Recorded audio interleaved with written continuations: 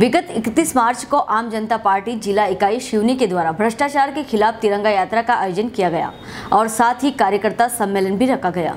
उक्त कार्यक्रम के मुख्य अतिथि पंकज सिंह, प्रदेश अध्यक्ष, आप पार्टी अध्यक्षता मुकेश जायसवाल, प्रदेश संगठन मंत्री, विशिष्ट अतिथि आशीष सिंगराहा, जिला अध्यक्ष दुर्गेश विश्वकर्मा की उपस्थिति में तिरंगा यात्रा रायल लॉन से निकालकर नगर के मुख्य मार्गों से होते हुए वापस रायल लान पहुँची, जहाँ कार्यकर्ता सम्मेलन शुरू किया गया।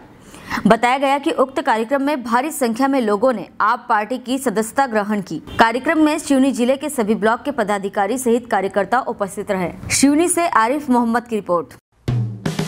हेलो फ्रेंड्स आप देख रहे हैं हमारा channel S W twenty four news हमारे सारे वीडियो सबसे पहले देखने के लिए आप हमारे चैनल को सब्सक्राइब करें और पास में लगे बेल आइकोन को दबाना बिल्कुल भी ना भूलें।